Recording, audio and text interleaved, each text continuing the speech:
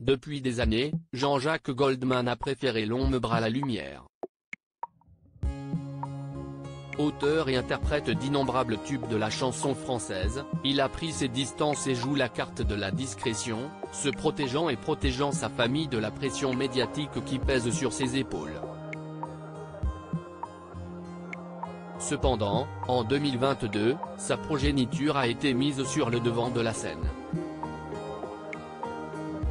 Il y a évidemment Michael Goldman, directeur de la Star Academy revenu sous les spotlights avec succès après 14 ans d'absence. Sa sœur aînée a également fait parler d'elle cette année, la psychologue Caroline Goldman. Caroline Goldman est l'aînée de la superstar de la chanson française âgée de 70 ans. Elle la première des trois enfants, viendront Michael puis Nina, pédiatre, que le chanteur a éousse avec la psychologue Catherine Morlaix qu'il a épousée en 1975. Jean-Jacques Goldman est divorcé depuis 1997 et s'est remarié avec Nathalie Tourlagier, de 30 ans sa cadette, agrégée et docteur en mathématiques. Ils ont trois filles, Maya, 2004, Kimi, 2005, et Rose, 2007. Les fans de l'émission Les Maternelles l'avaient certainement déjà croisé sur le plateau du show pour parents. En effet, Caroline Goldman est une psychologue renommée. Docteur en psychologie clinique de l'enfant, elle anime également un podcast qui fait fureur sur les plateformes d'écoute.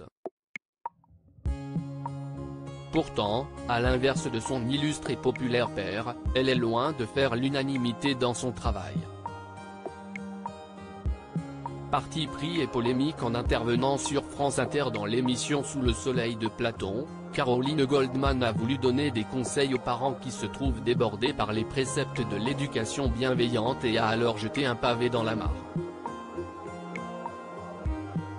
Mère de quatre enfants de 7, 11, 13 et 17 ans, et détentrice de plusieurs diplômes dans le domaine, elle peut se targuer d'une expertise solide.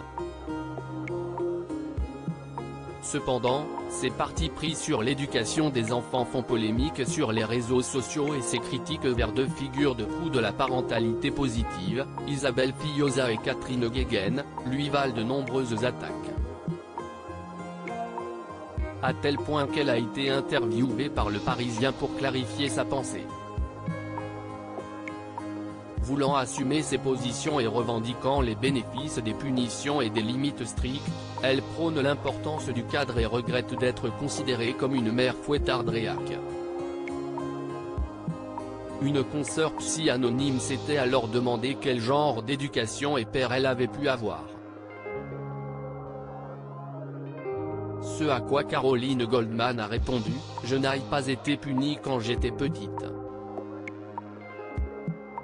J'étais même très dur avec mon frère cadet, Michael de la Star AC.